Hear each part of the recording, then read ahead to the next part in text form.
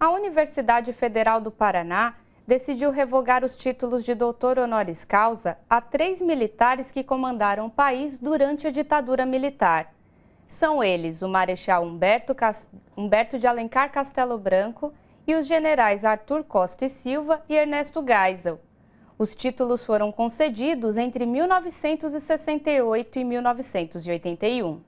O reitor Ricardo Fonseca explicou que revogar os títulos de doutores honoris causa dados aos presidentes da República da época da ditadura militar brasileira é medida necessária para uma instituição como a Universidade Federal do Paraná. Acrescentou que eram chefes de Estado e de governo, chefes supremos das Forças Armadas, articuladores e executores centrais das políticas de repressão e do terror de Estado, condutores de regimes de força que levaram adiante horrores, torturas, mortes e supressão de direitos de liberdades e da própria democracia. O reitor disse ainda que este é um momento de reafirmar o compromisso da universidade com a democracia e com a memória, e que a universidade não pode deixar de respeitar continuamente o passado, porque precisamos hoje ser melhores do que fomos ontem.